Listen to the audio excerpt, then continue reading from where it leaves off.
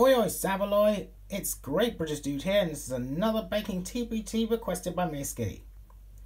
Here we have Rouge, Shadow and Knuckles volunteering as one waiter for a French pastry restaurant and disguised as a tall waiter to deliver some delicious freshly baked croissants to a lovely couple at a table. If y'all like this sexy disguise, give this video a like, leave a comment and subscribe. Over and out.